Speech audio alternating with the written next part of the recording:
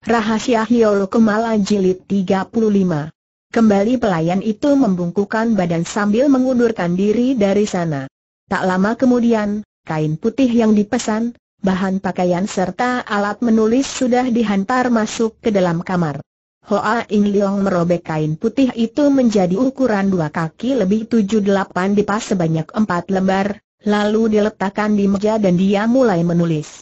Beberapa saat kemudian, keempat lembar kain putih itu sudah selesai ditulis, sambil meletakkan penanya ke meja, dia menghela napas panjang, gumamnya, aaai, jika Carrie ini pun tidak mendatangkan hasil, untuk menemukan Wan Hang Giok berdua rasanya akan sulit kembali, setelah berganti pakaian dan tulisan di atas kain putih itu sudah kering, dia menggulung kain tadi menjadi satu dan meninggalkan rumah penginapan, meski bahunya pernah terluka, sekarang telah sembuh kembali jadi tidak terlalu mengganggu.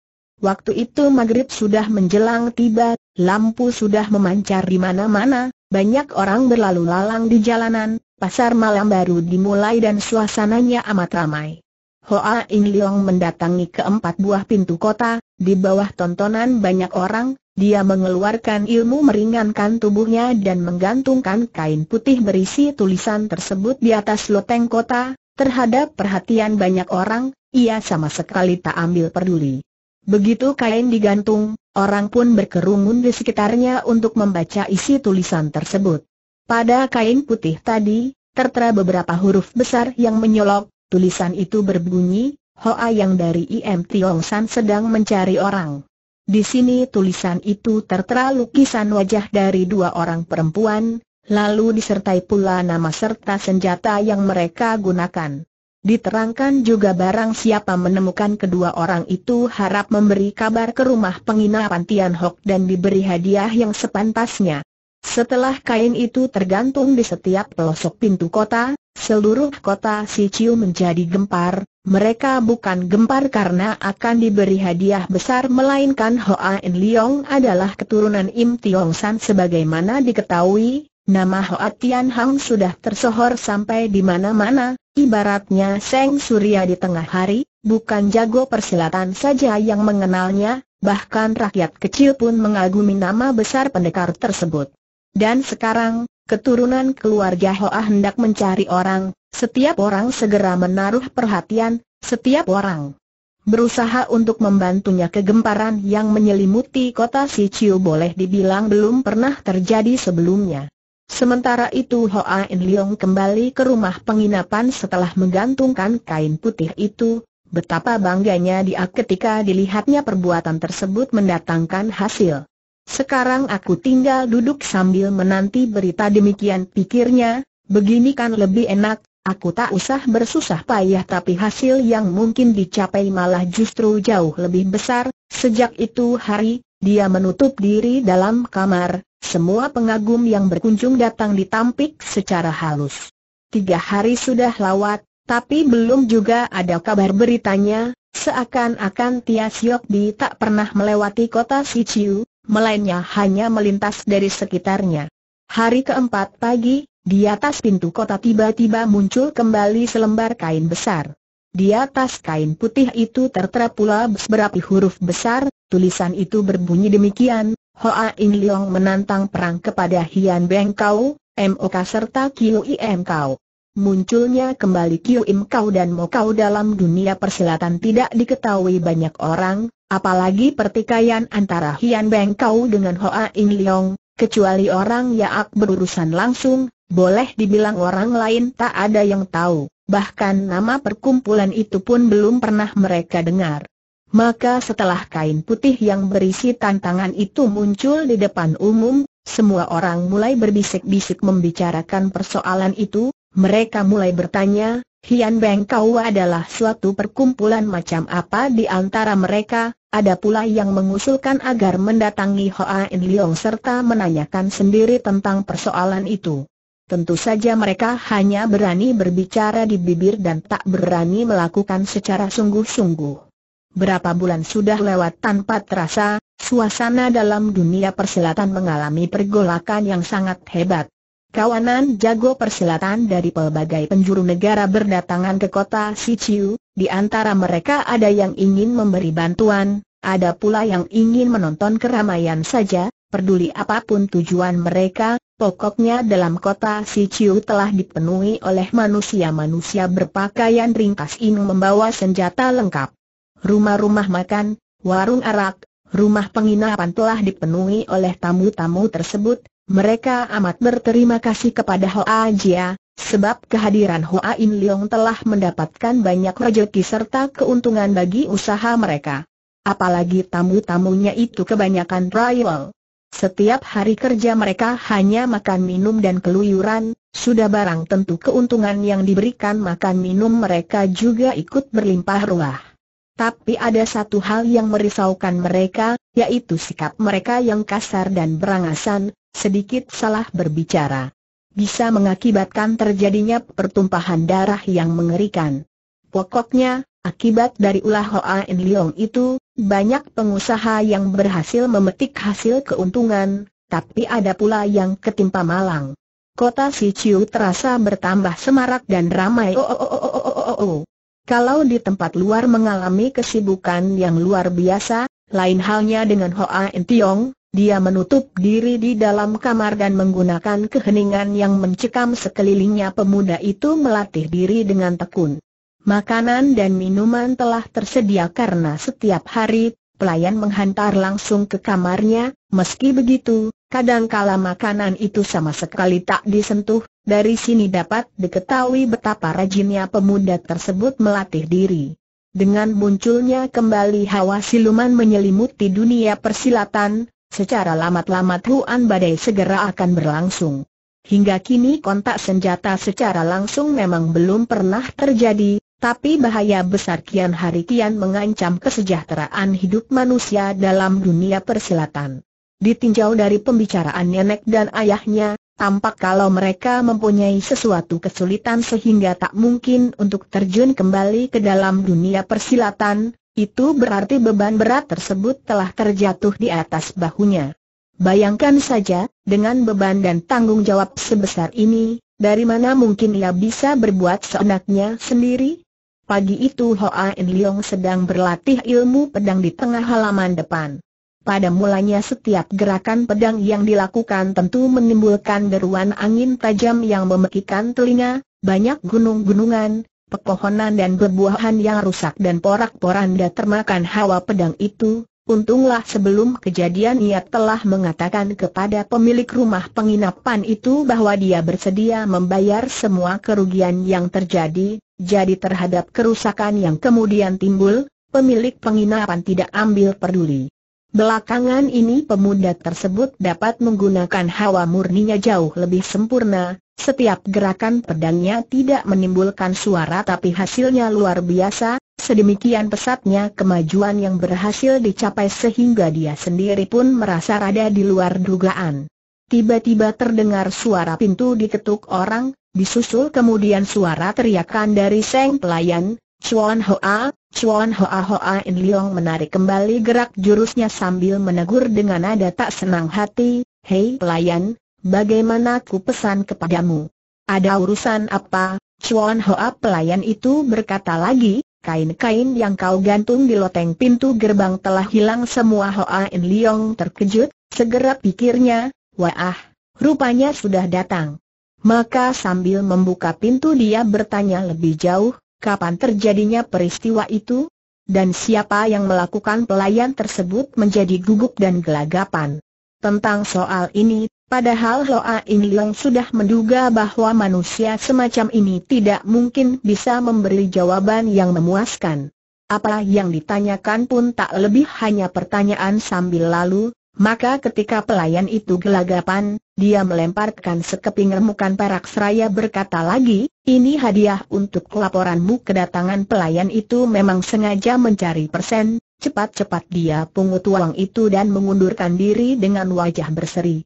Sepeninggal pelayan itu, Hoa In Leong lantas berpikir, kalau perbuatan ini dilakukan oleh pihak Hian Beng Kau atau Teng Kwik Siu, jelas mereka akan secara langsung mencari aku, tak mungkin tanpa melakukan reaksi apa-apa, hanya kain itu saja yang dibawa pergi.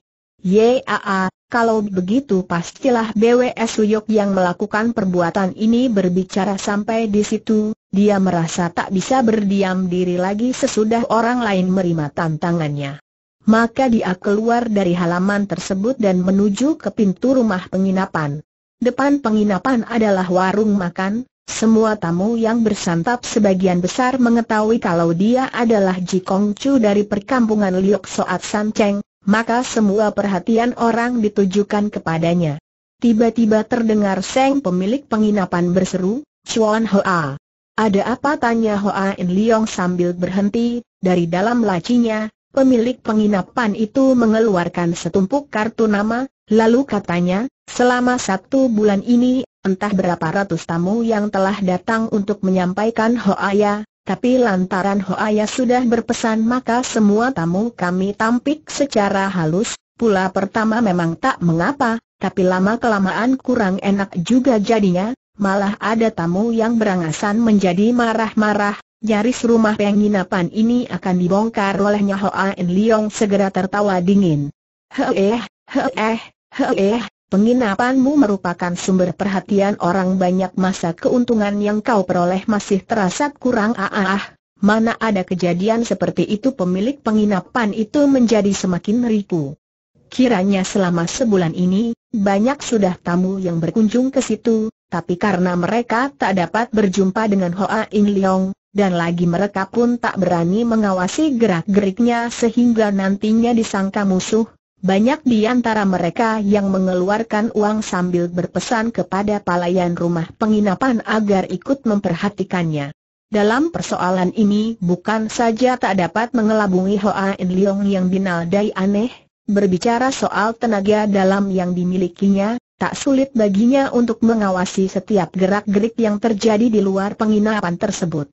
Pemilik penginapan itu tak tahu dari mana tamunya bisa mendapat tahu tentang persoalan ini, dia menjadi ketakutan, dia takut Hoa In Leong menjadi marah karena persoalan ini. Hoa In Leong menerima tumpukan kartu nama itu dan memeriksanya, pada lembaran yang pertama terbaca olehnya akan nama Chia Ye Uchong dari William, dia berpikir sebentar, nama itu rasanya memang pernah terdengar, katanya merupakan seorang pentolan bulim bagi wilayah sekitar William, tentu saja lain pula menurut pandangan orang-orang keluarga Hoa. Dari lembaran kedua, terbaca nama dari Tu Ching San dari Sisiok. Dia berpikir kembali, oh, oh, oh rupanya wilayah Chuan Tiong pun sudah digemparkan oleh peristiwa ini, sungguh cepat tersiarnya berita dalam dunia persilatan kemudian dari lembaran-lembaran berikutnya, Terbaca juga nama-nama dari pelbagai jago lainnya yang meliputi daerah Soat Sei, Hokian dan lain-lainnya. Oh, oh oh jadi perbuatanku ini sudah menggemparkan seluruh kolong langit pekiknya di hati. Kartu nama itu seluruhnya berjumlah 102-30 lembar, maka sambil tersenyum ia tidak meneruskan pemeriksaannya, sambil diletakkan kembali di hadapan pemilik penginapan itu dia berseru, Hei, Chiang Kwee pemilik penginapan itu mengira kesalahannya hendak disinggung, saking takutnya paras mukanya sampai berubah jadi pucat pias, bisiknya gelagapan, Chuan Hoa, Hoa In Leong tersenyum, katanya dengan cepat, wakililah aku untuk membalaskan setiap kartu nama itu dengan sebuah undangan, tulis dalam undangan itu, besok tengah hari aku hendak menjamu mereka di loteng Puang Koan Lo di sebelah barat kota, dan mohon kehadiran mereka semua. Baik. Baik sahut pemilik penginapan dengan perasaan cemas. Masih sempat, masih sempat. Masih sempat, jawab pemilik penginapan lagi dengan perasaan semakin kalut, Hoa In Leong segera mengangguk. Baik. Kalau sampai kurang satu saja, aku akan menanyakan kepadamu, katanya. Lalu dengan langkah lebar dia keluar dari penginapan itu. Hoa In Leong dengan santainya berjalan-jalan mengelilingi kota Sichiu, di sepanjang jalan dia temui banyak jago persilatan yang bersenjata lengkap mondar-mandir kian kemari, rata-rata mereka memandang ke arahnya dengan pandangan keheranan. Menyaksikan kesemuanya itu, diam-diam dia lantas berpikir, Rupanya semua orang sudah tahu kalau ada orang datang menyatroni diriku, maka sekarang tinggal menunggu tanggal mainnya saja padahal, dalam kota si Ciu tersebut, mungkin Hoa Ing Leong sendirilah yang mengetahui kejadian tersebut paling akhir. Sepanjang perjalanan mengitari kota, rata-rata yang dijumpai hanya manusia-manusia kelas 2-3 saja, tak seorang jago lihai pun yang dia temui, Otomatis orang yang ingin dijumpai pun tak ada yang tampak pula. Kalau orang-orang dari ketiga perkumpulan besar itu tidak mencari aku, hal ini sudah lumrah dan tak ada yang perlu diherankan, dari pihak keluargaku tak ada yang turut campur. Atau munculkan diri, kejadian ini pun berada dalam dugaanku tapi yang mengherankan adalah Guakong, adik Kui mereka semua, kenapa tak seorang pun yang datang? Jangan-jangan sudah terjadi suatu peristiwa mendadak dari depan saja muncul seorang lelaki setengah umur yang bermuka kuning, sambil memberi hormat dia lantas menyapa, tolong tanya, apakah saudara adalah Hoa Kong Cuye A betul jawab Hoa In Liong sambil balas memberi hormat, dan saudara sendiri, Xiao Te bernama Tu Ching San cepat-cepat lelaki setengah umur itu memperkenalkan diri. Hoa In Leong masih ingat, orang ini adalah salah seorang di antara pengirim kartu nama yang pernah dilihatnya, maka katanya, oh oh oh. Rupanya saudara tu, jauh-jauh dari wilayah Chuan Tiong datang kemari, Xiao tak sempat menyambutnya, harap kau bersedia memberi maaf betapa girangnya Tu Ching San ketika dilihatnya Hoa In Leong kenal dengannya, cepat-cepat dia berseru, ah ah ah, ah mana? Mana setelah berhenti sebentar, Lalu dia menambahkan, ini hari aku dapat bertemu dengan Hoa Kong Chu, hal ini merupakan suatu peristiwa, tampaknya dia hendak mengucapkan beberapa patah kata umpakan, tapi apa boleh buat lidahnya terasa kaku, dia menjadi galagapan dan tak tahu apa yang mesti dikatakan. Ketika dilihatnya kawanan jago persilatan mulai mengerubungi dirinya, Hoa In Leong segera berpikir. Wah, celaka, kalau setiap orang mengajak aku berbicara, tak ada habis-habisnya pertemukan hari ini berpikir demikian, dia pun cepat menukas, besok tengah hari, Xiao Te hendak mengadakan perjamuan di Loteng Kuang Koan Lo, apakah saudara tu bersedia memberi muka kepadaku Xiao Te pasti datang, Xiao Te pasti datang jawab Tu Ching San berulang kali. Hoa In Liong tersenyum dia menjura ke sekeliling tempat itu dan ujarnya kembali para ciampual, An Hiong sekalian, bila ada waktu harap besok siang ikut hadir di rumah makan Kuang Koan Lo semua orang yang berada di sekeliling tempat itu mengiyakan. Jawaban dari beratus-ratus orang yang diucapkan bersama waktunya itu sungguh luar biasa sekali, ibaratnya guntur yang membelah bumi di tengah hari bolong. Kalau begitu ku nantikan kedatangan saudara sekalian seru Hoa In Lioa lagi sambil menjura keempat penjuru. Kemudian cepat-cepat ia berlalu dari sana. Pemuda itu langsung menuju loteng Kuang Koan Lo yang berada di sebelah barat kota, dengan empat butir mutiara loteng itu dipesan olehnya untuk menjamu sekitar seratus meja, setelah itu dia baru pulang ke penginapan. Kembali ke kamar bacanya di penginapan, Tampak setumpuk gulungan kain putih tergeletak di atas meja, di bawah kain tumpukan itu tampak secari kertas, tanpa tersa pemuda kita mengerutkan dahinya sambil tertawa dingin. Kain putih itu tak diperiksa lagi, sebab sekilas pandangan saja dia sudah tahu kalau kain itu adalah kedelapan kain putih yang digantungkan di loteng gerbang kota. Surat itu diambil, ternyata tulisannya masih basah, hurufnya indah dan cuma bertuliskan, berita yang tersiar di tempat luaran ternyata bohong semua, kenyataannya cuma begitu saja di bawah kertas tak kelihatan tanda tangan penulisnya. Selesai membaca tulisan itu, semua kemarahan yang semula menyelimuti Hoa In Leong, kini malah sama sekali lenyap tak berbekas. Kalau perbuatan ini dilakukan BWS Suyok, setelah melarikan kain-kain tersebut, tak mungkin dah akan berbuat begini lagi demikian pikirnya di hati, EHM, mungkinkah kecuali pihak Hian Beng Kau, Mo Kau dan Kiu Im Kau, masih ada musuh lain? Surat itu sekali lagi diperiksa dengan teliti, meskipun tulisannya bagus dan bertenaga tapi toh masih membawa kelembutan dan kehalusan, jelas ditulis seorang perempuan. Ia menjadi termenung sambil berpikir keras, ia tak dapat menebak siapa gerangan perempuan tersebut. Choawiwi? Jelas dia tak akan berbuat demikian. Cien Likau. Perkumpulan ini tak akan menodai kewibawaannya. Kemudian dia berpikir pula tentang nona berbaju ungu. Tapi dia juga tak mungkin, sebab dari nada tulisannya, jelas dia baru pertama kali bertemu dengannya.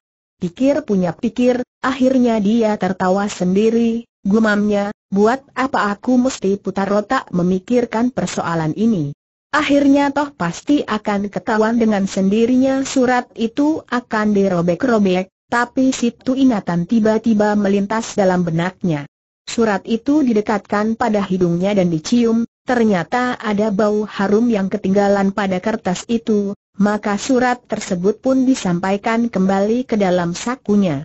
Kurang ajar, entah budak dari mana yang begitu bernyali sehingga berani memandang hina Hoa Jia, demikian dia berpikir, kalau sampai berjumpa lagi lain waktu, Aku pasti akan membuat kau menangis. Tak bisa tertawa pun tak dapat, akan ku suruh kau rasakan bahwa dia dari keluarga Hoa, setelah termenung sebentar, gulungan kain putih itu dibakar sampai habis, lalu seluruh kamarnya diperiksa dengan seksama, setelah yakin kalau tiada barang lain yang digeledah musuh, ia duduk sambil bertopang dagu, otaknya berputar keras merencanakan langkah-langkah selanjutnya. Tengah hari keesokannya, rumah makan Kuang Koan Lo yang mentereng dan megah di sebelah barat kota itu sudah penuh dibanjiri tamu dari pelbagai tempat, bukan saja ruangan atas penuh berjejal, ruang bawah pun sudah tak ada tempat kosong, entah berapa ratus orang yang hadir dalam perjamuan bersejarah ini. Bahkan di antara mereka yang datang agak terlambat, hanya kebagian kursi di pinggir jalan di luar gedung rumah makan, dari situ bisa dibayangkan betapa banyaknya tamu yang hadir. Sebagian besar tamu-tamu yang hadir waktu itu adalah mereka yang pernah mengirim kartu nama. Hoa Ing Leong melayani tamu-tamunya dengan ramah. Oleh karena keadaan bisa berkembang dengan lancar, maka setiap langkah setiap tindakannya menjadi jauh lebih tenang dan mantap, Seakan-akan dialah orang yang bakal menyelamatkan daratan Tionggoan dari ancaman bahaya maut. Tiba-tiba seorang kakek tinggi kekar berjenggot sepanjang dada yang berada di meja utama bangkit berdiri, sambil mengangkat cawannya dia berkata, Hoa Kong Lohu sudah lama berdiam di kota Sichiu, kalau dipaksakan maka aku terhitung pula sebagai separuh tuan rumah. Seharusnya akulah yang menyelenggarakan perjamuan ini untuk menyambut kedatangan Kongcu serta para Hiong sekalian, tapi sekarang Hoa Kongcu lah yang mesti merogoh saku sendiri orang ini bukan lain adalah pentolan dari William, Chia Yeu Chong. Dalam perjamuan yang diselenggarakan hari ini, sebenarnya dia belum pantas untuk menempati kursi utama tapi karena kesatu dia adalah pentolan untuk wilayah sekitar sana dan kedua bagi Parang Hiong tak berperilaku istilah tunduk kepada orang lain, maka secara otomatis kursi tersebut dialah yang menempati. Mendengar perkataan itu, Hoa Ing Leong segera bangkit berdiri seraya menjawab, hanya jumlah yang kecil bukan suatu masalah yang perlu dipersoalkan, Chia Long Hiong. Kalau engkau bersedia memandang wajahku, Harap persoalan ini jangan dibicarakan lagi beberapa patah katanya itu diucapkan tidak dengan suara yang keras, tapi semua tamu yang berada di atas loteng maupun di bawah loteng, bahkan mereka yang berada di luar. Jalan pun bisa mendengarnya dengan jelas, seakan-akan Hoa En Leong sedang berbicara dari sisi mereka. Di antara sekian banyak orang, terdapat pula jago-jago kelas satu yang berilmu tinggi, setelah menyaksikan kehebatannya, mereka tak berani lagi memandang pemuda itu sebagai seorang anak muda yang menyombongkan diri karena mengandalkan pamor orang tuanya. Bagi jago-jago kelas 2 apalagi kelas 3, sekalipun mereka juga merasakan sesuatu yang aneh tapi tidak sampai kaget, Alasannya mereka memang selalu menganggap orang-orang dari keluarga Hoa adalah jago-jago lihai yang tak terkalahkan sambil mengelus jenggotnya Chia Ye Ucong tertawa. Ayah naga putranya selalu memang naga katanya, beberapa patah kata Hoa Kongcu benar-benar gagah perkasa, tak malu menjadi keturunan dari Hoa Tai Hiap, Lohu tak berani untuk membangkang setelah memandang sekejap sekeliling tempat itu, kembali ujarnya lebih jauh, sudah lama keluarga Hoa dari Im Tiong San merupakan tulang punggung bagi dunia persilatan, ayahmu Hoa Tai Hiap juga merupakan jarum penenang samudra bagi dunia Kangou bukannya Lohu mengumpak, ketenangan serta kedamaian yang melanda dunia persilatan kita selama 20 tahun belakangan ini tak lebih adalah pemberian dari Hoa Tai Hiap. Aku rasa kawan-kawan sekalian tentu setuju bukan dengan ucapan ini mendengar perkataan itu, semua orang segera mengiyakan berbareng, malah mereka yang tak jelas mendengar perkataan itu bertepuk tangan juga, suasana menjadi gaduh dan memekikan telinga. Tiba-tiba terdengar serentetan suara yang merdu merayu menukas dari samping, mengangkat bahu sambil berpura-pura tertawa, huh, Sekawanan manusia penjilat sekalipun ucapan ITN merdu dan lembut, namun suara gaduh dari ratusan orang itu tak dapat mengatasinya, bisa dilihat kalau orang itu mempunyai tenaga dalam yang amat sempurna. Serentak puluhan orang melompat bangun sambil memandang sekeliling tempat itu dengan wajah gusar, tapi suara tadi telah sirap dan lenyap kembali, karena siapa pun tidak memperhatikan maka sulitlah untuk menentukan siapa orangnya yang telah mengucapkan kata-kata tersebut.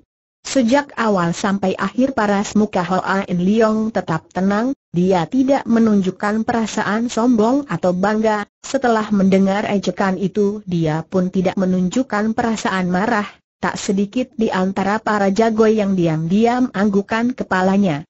Tiba-tiba seorang lelaki setengah berteriak dengan suara dingin, Hoa Kong Chu, para Ciampu dan Eng Hiong, ditinjau dari care sobat itu mengucapkan kata-katanya tapi tak berani munculkan diri, sudah jelas orang itu adalah seorang manusia yang rendah martabatnya, kenapa kita semua harus bersikap sungkan-sungkan kepadanya Hoa In Leong sendiri sebenarnya juga tak tahu dari mana suara tadi berasal, tapi setelah laki-laki setengah umur itu berkata demikian, sebagai seorang pemuda yang berotak cerdas, segenap tenaga dalamnya dikerahkan ke dalam telinga. Betul juga, ia segera mendengar suara tertawa dingin berkumandang datang dari rumah makan seberang jalan sana. Suara tertawa dingin itu sangat lembut dan halus, kalau berganti orang biasa tak mungkin suara sepelan itu dapat didengar.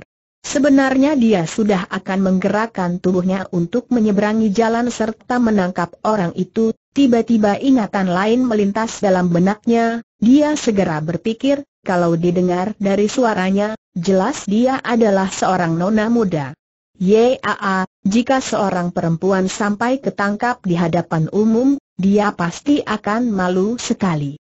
Apa gunanya lantaran urusan sekecil ini aku harus membuat dia menjadi malu berpikir sampai di sini, dia lantas menduga bahwa perempuan yang barusan berbicara itu adalah orang yang sama dengan orang yang meninggalkan surat kepadanya, kembali ia berpikir, dia selalu berusaha untuk menghasut serta memanaskan suasana, berarti pula sebelum perjamuan di sini bubar, dia tak akan meninggalkan tempatnya, Kenapa tidak ku bereskan perempuan itu setelah perjamuan di sini selesai berpikir sampai di situ dia pun tertawa nyaring, ha-ah, ha-ah, ha-ah.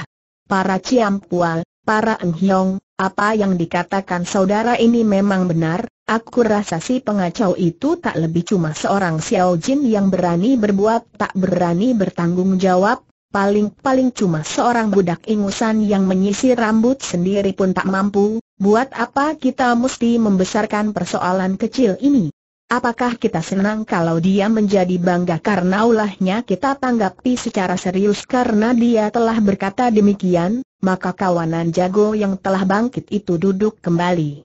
Tiba-tiba Hoa En Leong berkata lagi, Chia Long Hyong, Aku lihat rupanya kau masih ada perkataan yang belum selesai diutarakan, silahkan kau utarakan sementara waktu itu Chia Ye Uchong sedang membatin, ketika aku tahu bahwa dia hendak membuat kekalutan di kota Sichiu, mulanya kukira dia hanya ingin mencari nama karena menganggap dirinya keturunan orang ternama, tapi setelah melihat kenyataannya sekarang, tampaknya dugaanku itu keliru maka dia lantas terbahak-bahak, ha ha ha ha Kebesaran jiwa Hoa Kong Chu, sungguh membuat Lohu merasa kagum Hoa In Leong sendiri juga sedang membatin. Memangnya kalian anggap aku tidak tahu kalau kamu semua menganggap aku sedang mengandalkan nama ayahku untuk mencari nama sambil tersenyum sahutnya, aku tahu bahwa aku masih muda dan berangasan, soal kebesaran jiwa, wah, masih ketinggalan jauh. Hoa Kong Chu kata Chia Ye Uchong dengan wajah serius, dengan membonceng pada kedudukanku sebagai tuan rumah kota ini, atas desakan kawan-kawan persilatan aku telah ditunjuk menjadi wakil mereka semua untuk menyampaikan doa serta harapan agar kesehatan Lo Tai Kun, ayah dan ibumu selalu baik kembali Hoa In Leong berpikir, jika dilihat dari sikap hormat mereka yang bersungguh-sungguh, Rupanya kebajikan dari ayah benar-benar sudah tertanam di hati mereka cepat-cepat dia menjawab dengan serius.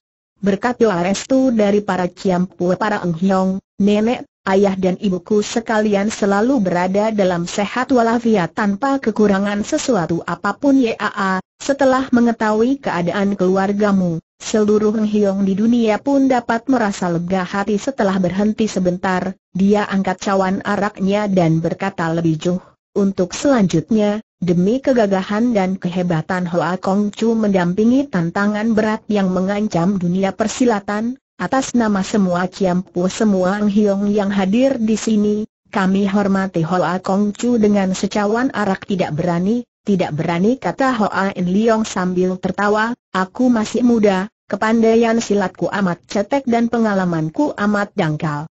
Tak berani ku terima penghormatan sebesar ini, sepantasnya Hoa Yang lah yang harus menghormati Ciampu dan Menghiong sekalian dengan secawan arak dia meneguk isi cawannya sampai habis, lalu disodorkan keempat penjuru sebagai tanda bahwa dia minum arak itu untuk menghormati semua orang yang hadir. Serentak semua jago bangkit berdiri, dan meneguk habis isi cawannya sendiri.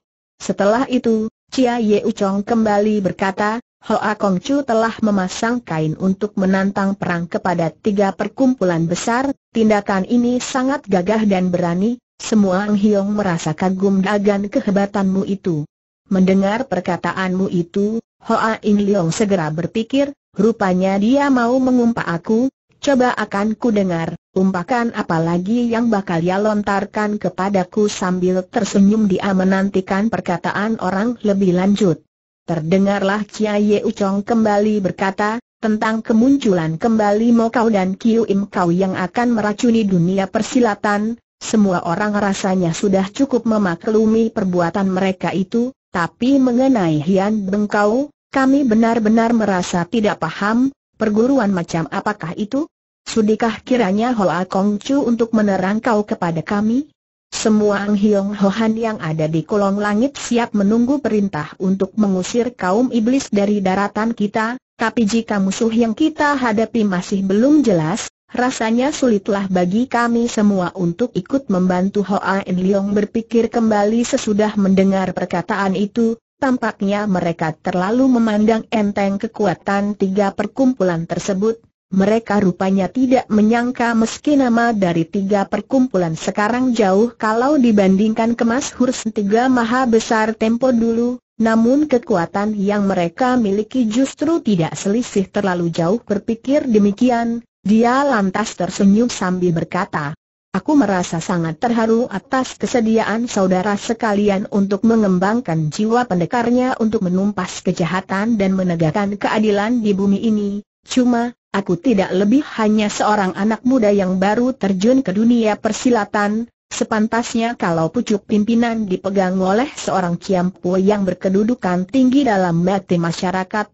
bagaimanapun juga, tak pantas kalau akulah yang menempatinya.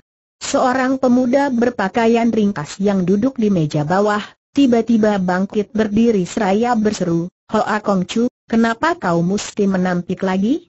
Ketika Hoa Tai Hiap memimpin para jago dari seluruh kolong langit tempo dulu, usianya juga sebaya dengan usia Hoa Kong Chu sekarang, jika Hoa Kong Chu tak mau menduduki pucuk pimpinan, lalu siapakah yang pantas untuk menempati kedudukan itu? Orang muda biasanya memang berdarah panas, demikian pula dengan pemuda-pemuda lain yang kebetulan berada di situ, Ucapan tadi segera disambut dengan tempik sorak yang gegap gempita, suasana menjadi agak gaduh, sementara mereka yang telah berusia lanjut cuma duduk dengan mulut membungkam.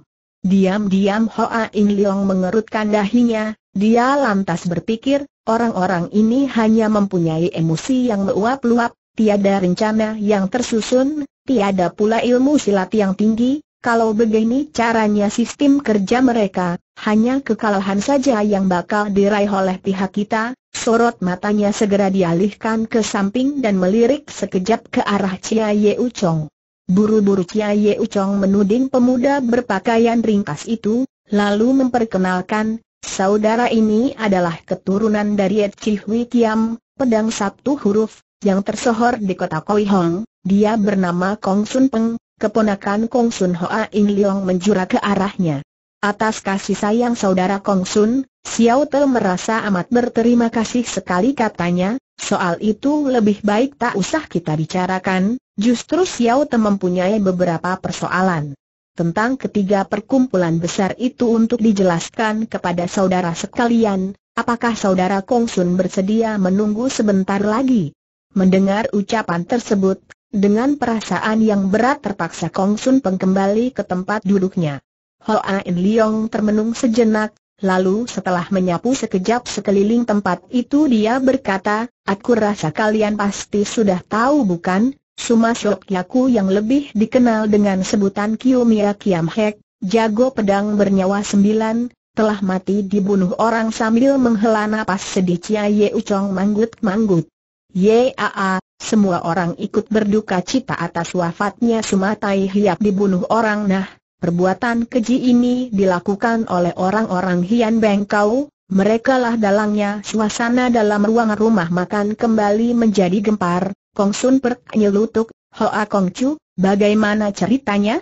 Harap dikisahkan dengan lebih jelas lagi Hoa In Leong kembali berpikir, dalam peristiwa ini, pihak Kiu Im Kau juga terlihat secara langsung, Aku rasa lebih baik jangan terlalu mengeluarkan kisah ini secara terang-terangan sebelum pembunuh yang sebenarnya berhasil dilacaki. Untunglah setelah kuterangkan kejadian tersebut, mereka telah menarik kembali sikap pandang entengnya terhadap lawan berpikir sampai di situ, kembali dia berkata, peristiwa terbunuhnya Sumasok dia tak lama lagi akan terbongkar. Sampai waktunya aku pasti akan memberi keterangan lagi kepada rekan-rekan semua. Kini terlampau pagi kalau ku katakan lebih dulu, harap saudara Kong Sun bersedia memakluminya tanpa menunggu orang lain berbicara, setelah berhenti sebentar dia berkata lagi. Masih ada beberapa persoalan penting lagi yang hendak ku sampaikan kepada rekan-rekan sekalian, harap rekan semua bersedia untuk memperhatikan sebenarnya semua orang hendak mengajukan pertanyaan sekitar pembunuhan atas diri Sumati Yang Ching, akan tetapi karena didahulu pemuda tersebut, maka terpaksa mereka pasang telinga baik-baik dan mendengarkan dengan seksama. Dengan suara dalam Hoa In Leong berkata, Kiu Im Kau Chu yang sekarang adalah murid dari Kau Chu generasi lalu, dia seorang perempuan yang bernama BWS Suyok, meskipun usianya masih muda tapi ilmu silatnya sangat tinggi, aku harap rekan semua mau memperhatikan hal ini. Kemudian dari pihak Mokau yang menyerbu ke daratan Tionggoan secara besar-besaran, terdapat seorang yang bernama Seng Cucu adalah kakak seperguruan Teng Kwik Siu, tenaga dalamnya jauh di atas Teng Kwik Siu sendiri, orang ini merupakan orang kedua yang harus rekan semua perhatikan. Sedang mengenai perkumpulan Hian Bengkau, oleh karena struktur organisasi tersebut sangat rahasia, sampai sekarang belum ku ketahui siapa kaucunya tapi yang pasti jago-jago mereka sangat banyak dan rata-rata berilmu tinggi, di antaranya seperti Tamcu markas besar mereka adalah Beng Wei Chian serta murid-muridnya yang bernama Chiu Hoa, dari nama tersebut sudah dapat diduga kalau cita-cita mereka adalah musuhi keluarga Hoa kami. Markas besarnya berada di Bukit Gihang San. Berbicara sampai di situ, dia menyapu sekejap sekeliling tempat itu lalu bertanya lagi, apakah ada pertanyaan di antara rekan sekalian? Jika kurang terang, silahkan ditanyakan seorang pemuda berpakaian ringkas warna hitam segera bangkit, tanyanya dengan lantang, bagaimanakah ilmu silat BWS Suyok jika dibandingkan dengan Hoa Kong Chu Hoa In Leong, membatin, kalau dibandingkan sekarang tentu saja tenaga dalamku jauh melebihi dirinya tapi di luar dia menyahut, Xiao Te pernah beradu kekuatan dengan perempuan ini ketika berada di kota Kim Leng, rasanya ilmu silat kami seimbang tiba-tiba Tu Ching San bertanya pula, Hoa Kong Chu, Seng Cucu yang dikatakan sebagai kakak seperguruannya Teng Kwik Siu itu macam apa orangnya? Sampai di mana taraf ilmu silat yang dimiliki? Dan kenapa sewaktu mencari harta di Kiuchi San Tempo dulu, orang ini tidak kelihatan orang itu empunyai ilmu silat yang luar biasa lihainya, jika rekan sekalian bertemu dengan orang ini, lebih baik menyingkir saja setelah berhenti sebentar, dia berkata lagi, Menurut dugaanku ketidakmunculannya dalam penggalian harta di Bukit Kiuchi San Tempo dulu, mungkin disebabkan waktu itu Seng Cucu sedang menutup diri banyak orang yang merasa tidak puas dengan perkataan itu, malah ada di antara mereka yang bermaksud mencari Seng Cucu untuk diajak beradu kepandaian, mereka semua adalah jago-jago persilatan, apa yang dipikirkan segera terlihat pula. Di atas wajahnya, Melihat itu Hoa In Leong mengeluh dan tidak berkata apa-apa lagi. Tiba-tiba terdengar Chia Ye Uchong berkata, Hoa Kong Chu, bersediakah engkau untuk melukiskan tampang dari Seng Tuju itu, agar kawan-kawan persilatan dapat menghindarinya jika secara kebetulan mereka sampai bertemu orang yang usianya sudah lanjut memang jauh lebih dapat menggunakan otak daripada orang muda pikir Hoa In Leong.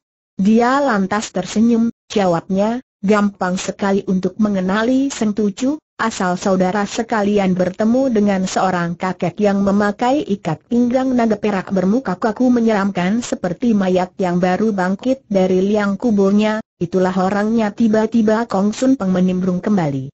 Menurut pembicaraan Hoa Kong Chu, semua murid Hian Beng Kau diberi nama Chiu Hoa, mendendam kepada keluarga Hoa, boleh aku tahu sebetulnya dendam sakit hati apakah yang sudah terjadi antara Hian Beng Kau Chu itu dengan keluarga Hoa Hoa? In Leong tidak langsung menjawab, kembali dia berpikir, meskipun Tia Lo Chiam Pua menerangkan bahwa Hian Beng Kau Chu mempunyai dendam sakit hati dengan pihak kami lantaran gurunya dibunuh ayah, tapi aku sendiri pun kurang jelas tentang soal ini, Rasanya mereka juga tak akan dapat menduganya. Ia merasa ada baiknya kalau persoalan itu jangan dibicarakan dulu, maka katanya, tentang soal ini, terpaksa.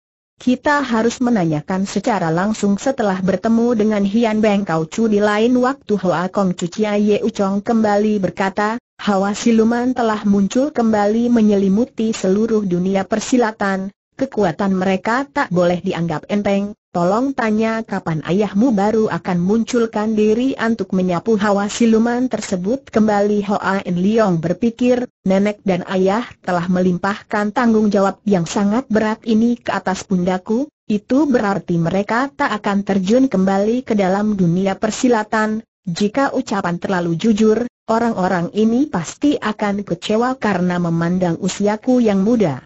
Kepandaianku yang terbatas dan pengetahuanku yang cetek mereka pasti berpendapat bahwa aku tak akan mampu, karena berpendapat demikian, pelan-pelan dia berkata, bagaimanakah rencana ayah, sebagai putranya aku tak berani menduga secara sembarangan, tapi saudara sekalian tak usah khawatir, sebagai bagian dari masyarakat dunia persilatan, keluarga Hoa kami pasti tak akan berpeluk tangan belaka, dalam usaha melenyapkan kaum iblis dan durjana dari muka bumi, kami pasti akan menyumbangkan pula tenaga kami. Perkataan ini mengambang sifatnya dan tidak menentu, banyak orang tidak puas, tapi tak seorang pun yang berani membuka suara untuk bertanya lagi. Tiba-tiba seorang kakek kekari yang duduk di meja utama bangkit berdiri seraya berkata, Hoa Kongcu, dilihat dari keberanian Kongcu untuk menantang tiga perkumpulan tersebut, Mungkinkah Kong Chu sudah mengetahui jelas kekuatan mereka sebenarnya? Dan mungkinkah Kong Chu sudah menyusun suatu rencana yang masak untuk menghadapi mereka Hoa In Leong menarik kembali sorot matanya, semua orang yang duduk di meja utama dikenalnya dengan jelas dia pun mengenali kakek tersebut sebagai Huan Tong, seorang jago yang merajai wilayah Lem Chong dengan ilmu Poh Kasin Kun, ilmu pukulan sakti pemecah perisai-nya. Dia lantas tersenyum, katanya, mempunyai rencana yang masak sih tidak, cuma berbicara menurut situasi sekarang ini, dengan mundurnya Kiu Im Kau Chu dan kedudukannya digantikan oleh BWS Suyok yang masih muda, kendati pun dia mempunyai bakat yang bagus dan kecerdasan otak yang luar biasa, tak mungkin kehebatannya bisa melampaui iblis tua itu, ini berarti Kiu Im Kau merupakan perkumpulan terlemah di antara tiga perkumpulan yang ada. Sedang pihak Mo Kau mempunyai Teng Kwik Siu dan kakek seperguruannya untuk bersama menghadapi musuh, kekuatan mereka cukup tangguh. Sementara Hian Beng Kau tak diketahui kekuatan yang sebenarnya, menurut pendapatku, mungkin kekuatan mereka jauh di atas kemampuan Mokau jadi kalau begitu seandainya terjadi bentrokan kekerasan, maka kita akan membasmi Kiu Im Kau lebih dulu tanya Huan Tong. Tidak dengan cepat Loa In Leong menggeleng, tiga perkumpulan telah membentuk perserikatan, jika seujung rambut mereka diganggu seluruh badan perserikatan akan maju bersama, tak mungkin mereka akan membiarkan kita untuk menghancurkan mereka satu demi satu setelah berhenti sebentar, kembali katanya, apalagi yang lemah belum tentu lemah, yang tangguh belum tentu. Tangguh, Siapa tahu kalau sampai akhirnya Kiu Im Kaulah merupakan perkumpulan yang paling tangguh perkataan dari Hoa Kong Chu memang benar sahut Huan Tong sambil mengangguk. Sudah menjadi kebiasaan bagi kaum durjana, sebelum sampai akhirnya siapa pun tak mau mengerahkan segenap kemampuannya tiba-tiba Chia Ye Uchong menimbrung, tentang mundurnya Kiu Im Kau Chu secara tiba-tiba, menurut Hoa Kong Chu hal itu pertanda baik atau jelek buat kita Hoa In Leong termenung sebentar, kemudian jawabnya, Kiu Im Kau Chu adalah seorang manusia yang licik, lihai dan banyak tipu muslihatnya, aku rasa tindakannya itu pasti mengandung maksud-maksud tertentu. Berbicara dari segi baiknya, Mungkin saja dia mengandung maksud untuk merubah keadaan permusuhan menjadi persahabatan. Berbicara dari segi jeleknya dia hendak mengundurkan diri ke belakang layar dan dari sana menyusun rencana jahat untuk menghancurkan kita. Pokoknya baik itu bermaksud baik atau jelek, akhirnya pasti akan berkembang dan diketahui umum, dan aku rasa tak ada manfaatnya untuk kita duga mulai sekarang dalam perjamuan yang diselenggarakan kali ini, semua orang jarang menggerakkan sumpitnya untuk mengambil sayur, kebanyakan mereka cuma memegang cawan sambil mendengarkan pembicaraan yang sedang berlangsung, meski Hoa In Leong tidak mempersilahkan mereka minum, para jago persilatan itu pun tidak terlalu menaruh perhatian. Perjamuan itu berlangsung hampir dua jam lamanya, Sampai lohor perjamuan baru bubar, tentu saja Hoa In Leong tak dapat menghantar semua tamunya, banyak terhadap belasan orang tamunya yang berada di meja utama, dia tak berani berayal dan menghantarnya sampai di depan pintu.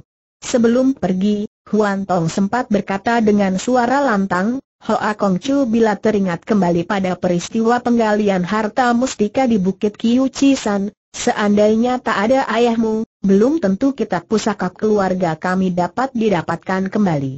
Aku tahu ilmu silat ayahmu sangat lihai, tak mungkin dah akan mengharapkan balas budiku, maka setelah berjumpa sendiri dengan kegagahan Hoa Kong Chu hari ini, aku jadi terbayang kembali akan kegagahan ayahmu di masa lalu.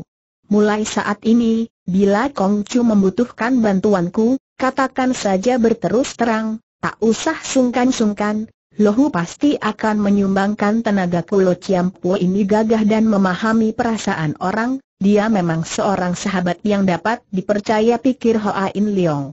Dengan perasaan berterima kasih dia lantas tertawa nyaring, katanya, dalam pencarian harta di Bukit Kiuci San tempo hari, ayahku berbuat demi kepentingan umum, Ciampu mengambil barang milik Ciampu sendiri, dari mana bisa dikatakan sebagai suatu hutang budi? Lalu dengan wajah serius dia berkata lebih lanjut, kalau toh Ciampu sudah berkata demikian, Bo Ampu pun tak akan bertedeng aling-aling lagi, bila berbicara soal balas budi, sama artinya dengan Ciampu memandang keluarga Hoa kami sebagai sekawanan manusia rendah mula-mula Huan Tong agak tertegun, menyusul kemudian tertawa terbahak-bahak, dia pun tidak banyak berbicara lagi, setelah berpamitan lalu mohon diri.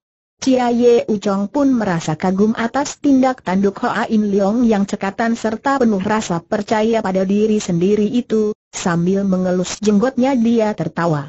Sebagai tuan tanah di sini, Loh memang tak becus di bidang lain, namun soal anak buah sih masih punya beberapa orang, untuk mencari berita, sebagai pesuruh, mereka masih dapat melakukannya. Maka bila Hoa Kong Chu membutuhkan mereka, harap kau tak usah sungkan-sungkan untuk mengutarakannya keluar. Hoa In Leong tidak sungkan-sungkan lagi, sambil menjura dia lantas berkata, kesediaan Chia Long Hiong untuk menyumbangkan tenaga sangat mengharukan hatiku, aku tidak memohon apa-apa, hanya seandainya di kota Si Chiu telah kedatangan manusia yang berwajah atau berbadan aneh, tolonglah memberi kabar kepadaku. Ah ah ah. Kalau cuma urusan sekecil itu sih tak menjadi soal, Hoa Kong Chu tak usah khawatir kata Chia Ye Uchong sambil tertawa, maka dia pun berpamitan. Sesudah perjamuan bubar dan semua tamu telah mengundurkan diri, rumah makan Kuang Koan Lo yang luas terasa menjadi hening, lenggang dan sepi. Hoa In Leong tidak berdiam lama di situ, setelah berpesan sepatah dua patah kata dengan pemilik rumah makan, dia pun ikut meninggalkan tempat itu dan lenyap di perapatan jalan sana. Lama setelah keheningan mencekam sekeliling tempat itu, tiba-tiba dari depan rumah makan itu melompat turun seorang perempuan berbaju putih yang menyoren pedang di punggungnya. Dia naik ke loteng Kuang Koan Lo dan memeriksa sekejap, di sana kecuali beberapa orang pelayan yang sedang membereskan sisa sayur, tak seorang jago persilatan pun yang masih tertinggal di sana. Berdiri di ruangan yang lenggang, permauan itu bergumam seorang diri dengan suara yang lirih. HMM. Sekembalinya ke markas besar, Empek Beng, Empek Toan Bok dan Suheng sekalian telah mengatakan putranya Hoa Tian Hang begini begitu, huuh, padahal sepersem pun tak ada harganya, Buktinya dia toh tak bisa berbuat apa-apa terhadapku sambil tertawa ringan dia lantas melompat turun dari atas loteng dan bergerak menuju keluar kota, dalam ruangan hanya tertinggal bau harum badannya yang semerbak. Ketika kawanan pelayan yang sedang mengumpulkan sisa sayur itu mendengar suara tertawa, serta merta mereka menengok ke sekeliling situ, namun karena tak sesosok bayangan manusia pun yang tampak mereka jadi merinding karena ngeri. Sementara itu, Nona tadi sudah tiba di luar kota tiba-tiba suara bentakan memecahkan keheningan, harap berhenti Nona perempuan itu tertegun, sebelum ia sempat berbuat sesuatu, angin berhembus lewat dan tahu-tahu kain cadar penutup mukanya sudah dibuka orang. Ia kaget dan cepat mundur, seorang pemuda tampan yang gagah perkasa tahu-tahu sudah berdiri di hadapannya, anak muda itu menggoyangkan kipasnya dengan tangan kiri, sedang di tangan kanannya menenteng sebilah pedang. Mustika dan jari tangannya menjepit selembar kain cadar, dia berdiri dergan senyuman di kulum. Orang itu bukan lain adalah Hoa In Leong. Sementara itu Hoa In Leong masih berdiri dengan senyuman di kulum. Setelah berhasil membuka kain cadar yang menutupi wajah nona itu, ia dapat menjumpai seraut wajah yang cantik jeli tampak bidadari dari kahyangan. Tapi anehnya, gadis itu mempunyai raut wajah yang 70% mirip dengan wajah ibunya yaitu Pekun Gie. Dengan perasaan tercengang dia lantas berpikir, seandainya aku tidak mengetahui lebih dulu kalau Paman Bong hanya mempunyai seorang putra saja, dan usianya sebaya dengan adik Kui, mungkin aku bisa mengira perempuan ini sebagai familiku sendiri. Nona berbaju putih itu tampak tertegun pula, tiba-tiba dia merasa pedang yang di tangan Hoa In Leong sangat dikenal, tangannya segera meraba ke belakang bahu, Ternyata entah sedari kapan pedangnya sudah lenyap tak berbekas. Dalam malu bercampur gusar, dia lantas berteriak keras, Hayo cepat kembalikan kepadaku haaah, haaah, haaah, baik, aku akan menurut perintah Nona. Sambil terbahak-bahak Hoa In Leong masukkan kipasnya ke dalam saku, lalu pedang yang berada di tangan kanannya itu diangsurkan ke hadapan Sang Nona. Rupanya Nona berbaju putih itu tak menyangka dia berani berbuat demikian, sebab dengan ujung pedang tertuju pada dada sendiri sedang gagang pedang diberikan kepada musuhnya, Tindakan ini merupakan suatu tindakan yang berbahaya sekali, seandainya musuh berhasil memegang gagang pedang itu lalu mendorongnya ke depan, maka walaupun seseorang memiliki ilmu silat yang tinggi, belum tentu dia dapat meloloskan diri dari ancaman dengan mudah. Rupanya nona itu menyangka Hoa In Leong hendak menipunya, untuk sesaat dia tak berani menerima angsuran pedangnya itu. Tunggu punya tunggu ketika dilihatnya nona itu tidak berani untuk menerima pedangnya juga, Hoa In Leong segera menggelengkan kepalanya, sambil menghela napas, aaai, benar-benar tak kusangka kalau nona adalah seorang manusia bernyali tikus nona berbaju putih itu tak tahan mendengar hasutan, ia tertawa dingin, lalu dengan cepat merebut kembali pedangnya, ternyata senjata tersebut dapat diambil kembali dengan sangat mudah. Mula-mula ia rada tertegun, kemudian sambil menggetarkan pedangnya ia melancarkan sebuah tusukan ke dada Hoa In Leong. Sejak semula Hoa In Leong memang telah bersiap sedia, sambil tertawa terbahak-bahak dan menyentil dengan jari tangan kirinya. Secara tiba-tiba saja jalan darah Citi Hiat di lengan kanan nona berbaju putih itu menjadi kaku, pedangnya tak mampu dicekal lagi dan segera terjatuh ke tanah. Dengan suatu kecepatan luar biasa, Hoa In Leong menggerakkan lengan kanannya, tahu-tahu pedang itu kembali sudah berpindah tangan. Kejut dan ngeri si nona baju putih itu menghadapi kejadian di depan mata, untuk sesaat dia tak tahu apa yang mesti dilakukan. Kalau berhati busuk dan jahat kedengaran Hoa In Leong membentak dengan marah, orang semacam kau tak bisa dibiarkan hidup terus cahaya putih berkelebat lewat, Tahu-tahu pedang itu sudah menyambar di hadapannya.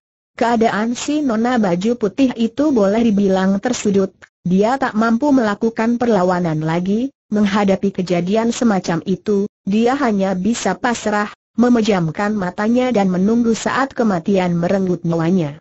Tapi, ternyata tunggu punya tunggu tiada rasa sakit yang dirasakan, cepat dia membuka matanya kembali, Tampak Hoa In Leong berdiri di hadapannya dengan senyuman dikulum, kipasnya sudah berada di tangannya kembali bahkan digoyangkan dengan santai, sementara pedang mustika itu sendiri sudah lenyap tak berbekas, entah ke mana larinya.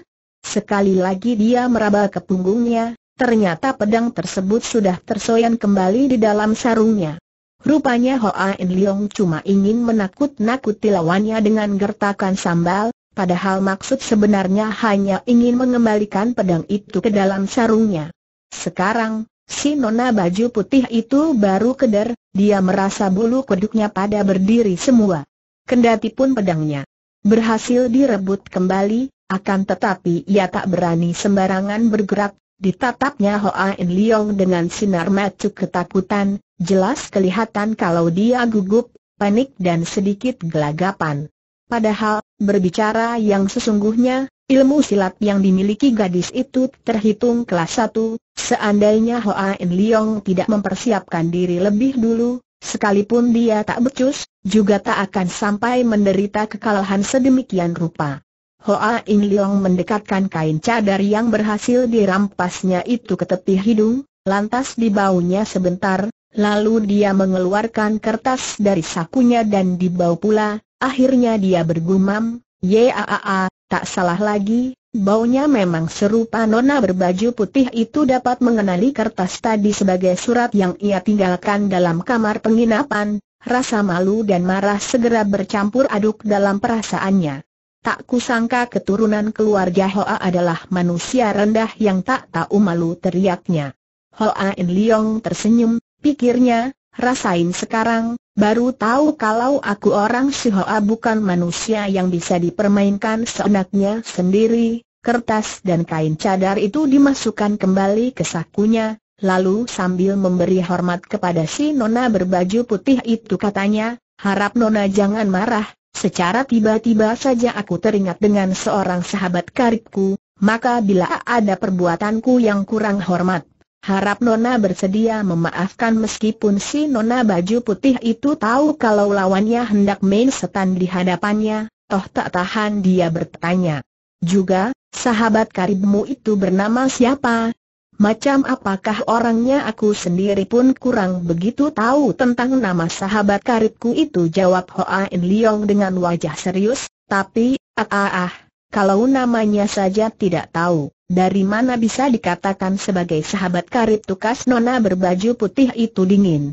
Ye a, aku memang tak tahu siapa namanya, tapi aku hanya tahu kalau dia adalah seorang nona yang cantik jeli tampak bidadari dari kahyangan merah padam selembar wajah si nona berbaju putih itu saking jengahnya, dengan marah dan membentak, tutup mulut Hoa In Leong pura-pura tertegun, lantas bertanya, eh eh eh, aneh benar nona ini, apa yang menyebabkan kau menjadi marah-marah besar? Nona berbaju putih itu merenung sejenak, lalu katanya dengan dingin dan kaku, eh eh eh, mau bunuh mau cincang silahkan kau lakukan dengan segera atas diriku, tapi kalau cuma mengumbar kata-kata yang tidak senonoh, HMM.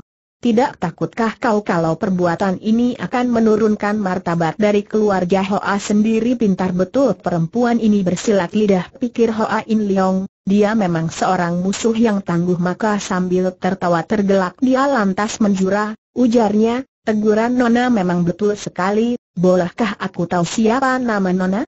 Nona berbaju putih itu termenung sebentar, kemudian jawabnya dengan dingin, dengarkan baik-baik, aku bernama Gie Pek, rindu dengan Pek, terperanjat Hoa In Leong setelah mendengar nama itu, segera dia berpikir kembali, menurut Gua Kong, Hian Beng Kau Chu kenal dengan Mama, oh jadi rupanya begitu. Sayang ayah tak pernah menceritakan soal tersebut kepadaku, Coha kalau tidak, mungkin dari kejadian-kejadian masa lalu aku bisa meraba siapa gerangan Hian Beng Kau Chu itu dalam hati dia berpikir demikian, di luar katanya lagi, lantas kau mengikuti nama marga yang mana nama margaku sama dengan nama guruku jawab nona itu ketus. Hoa In Leong tertawa. Tolong tanya apakah gurumu berasal dari marga Cia desaknya. Nona berbaju putih itu menggigit bibirnya kencang-kencang, dia membungkam dalam seribu bahasa, karena Nora itu enggan menjawab, Hoa In Leong tidak mendesak lebih jauh, dia pun berkata, Nona tempat seliar ini bukan tempat yang serasi untuk bercakap-cakap, bagaimana kalau kita kembali ke rumah penginapan dan melanjutkan pembicaraan di sana dari sini menuju ke rumah penginapan tersebut terlampau jauh, Aku rasa tak usah Hoa In Leong tersenyum. Cuan rumah yang baik akan berusaha memenuhi keinginan tamunya, baiklah, terserah kemauan Nona. Kontan saja Nona berbaju putih itu tertawa dingin.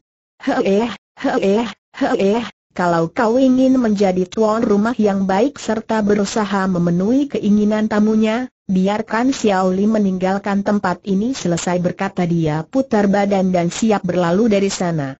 Hoa In Leong tertawa terbahak-bahak, sekali lagi dia menghadang di hadapan nona itu.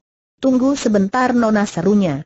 Nona berbaju putih itu memang sudah menduga kalau Hoa In Leong tak akan membiarkan dia pergi dengan begitu saja, sambil menggigit bibir, tiba-tiba ia melancarkan serangan kilat untuk menotok jalan darah Tian Te di tubuh anak muda itu.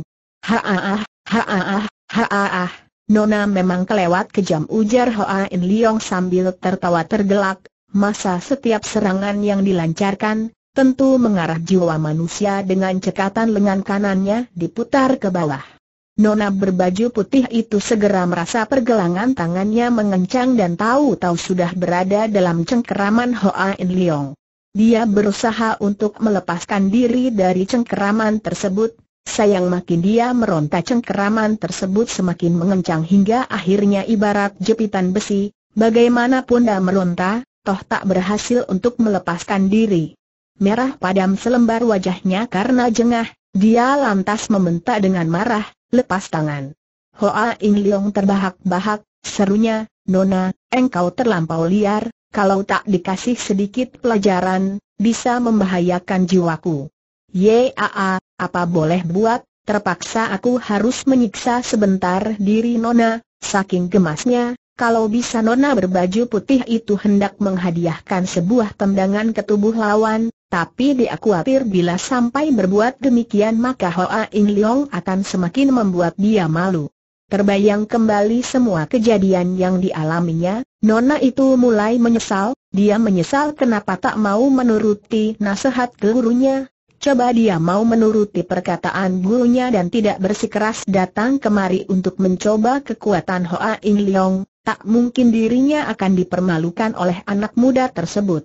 Tiba-tiba Hoa In Leong melepaskan tangannya, lalu berkata, Nona, bagaimana kalau kita membicarakan persoalan ini secara baik-baik saja tanpa menggunakan kekerasan huuuh? Siapa yang kesudian disebut kita bersama manusia macam kau protes nona itu marah. Hoa In Leong tertawa tergelak. Haa, haa, haa, baik, baiklah, bagaimana kalau kau dan aku berbicara secara baik-baik nona berbaju putih itu mendengus, sambil meraba pergelangannya yang bekas dicengkeram itu dia ambil sikap acuh tak acuh. Diam-diam Hoa In Leong tertawa geli, dari sakunya dia mengeluarkan selembar sapu tangan, lalu ditebarkan di atas. Sebuah batu yang bidang, sesudah itu sambil menggerakkan tangannya membuat gerakan mempersilahkan dia berkata, silahkan duduk nona manis setelah berulang kali menemui kegagalan, hilang sudah kepercayaan nona itu terhadap kemampuan sendiri, dia tahu kabur pun tak ada gunanya, maka tanpa membantah dia duduk di atas batu tersebut. Hoyen Leong sendiri juga mencari sebuah batu dan duduk seadanya. Menyaksikan sikap si anak muda tersebut, walaupun di hati kecilnya nona itu tertawa dingin, toh hatinya tergerak juga. Dalam pada itu, Hoa In Leong telah berkata kembali setelah berpikir sebentar, Ketika berada di kota Lem yang tempo hari aku pernah berjumpa dengan seorang nona yang usianya hampir sebaya dengan nona, dia mengenakan baju warna ungu dan membawa sebilah pedang pendek, kemauapun dia pergi, pelayannya yang bernama Sinio selalu mendampinginya, oh oh, oh kau maksudkan Xiao Leng Jin si budak ingusan itu? Tukasi nona tak sabaran. Sungguh gembira hati Hoa In Leong setelah tanpa sengaja mendapat tahu nama dari nona baju ungu itu, dia tertawa. Mungkin memang dia orangnya, apakah nona kenal baik dengan dia kembali dia mendesak rupanya si nona berbaju putih menyadari kalau ia salah berbicara, cepat serunya dengan ketus, maaf, aku tak dapat memberitahukan kepadamu. Wah, kalau didengar dari nadanya, Jangan-jangan di antara mereka mempunyai permusuhan pikir Hoa In Leong. Tentu saja ingatan tersebut tidak diutarakan keluar, sambil tertawa katanya kemudian, kalau dugaanku tidak keliru, suhu nona pastilah Hian Beng Kau Cusi ketua dari perguruan neraka itu, boleh aku tahu siapa nama gurumu tidak boleh jawaban nona itu lebih ketus. Keketusan yang berulang kali tidak merubah sikap Hoa In Leong yang ramah, Sekulum senyuman tetap menghiasi bibirnya. Konon perkumpulan Hian Beng kau mempunyai jago silat yang tak terhitung jumlahnya, apakah kau bersedia menyebutkan satu dua orang di antaranya sehingga menambah pengetahuanku kembali pintanya. HMM. Jangan mimpi tukasi nona sambil mencibirkan bibir. Boleh aku tahu permusuhan apa yang terikat antara suhumu dengan keluarga Hoa kami ketika mendengar pertanyaan tersebut, Tiba-tiba hawa nafsu membunuh memancar keluar dari metu nona baju putih itu cuma mulutnya tetap membungkam dalam seribu bahasa. Wah, celaka ini lagi-lagi Hoa In Leong berpikir, dilihat dari cemberutnya, jelas rasa benci mereka sudah merasuk sampai ke tulang sumsum, cuma herannya dendam apakah itu? Kenapa mereka bisa mengikat dendam sedalam lautan dengan keluarga Hoa? Berpikir sampai di situ, maka dia mengalihkan kembali pokok pembicaraan. Nona, beberapa orang Ciu Hoa yang berkeliaran dalam dunia persilatan apakah merupakan kakak seperguruanmu ia bertanya. Sin Ona baju putih tertawa dingin. Heeh, heeh, heeh, sayang kau tak sampai mampus dibunuh mereka.